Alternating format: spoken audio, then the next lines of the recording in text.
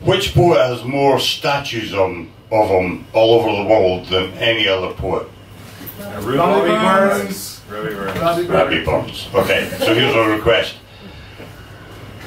My father was a farmer from up on the Carrick border, and carefully he raised me in dignity and order. He bade me act a manly part, though I never had a farthing.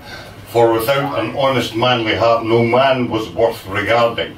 So out into the world my course I did determine. Though to be rich was not my wish, to be great was charming. My talents, they were not the worst, nor yet my education. Resolve was I, at least to try to mend my situation. Through many a way and vain essay, eh, I courted fortune's favour, some cause unseen, still stepped between to frustrate each endeavour.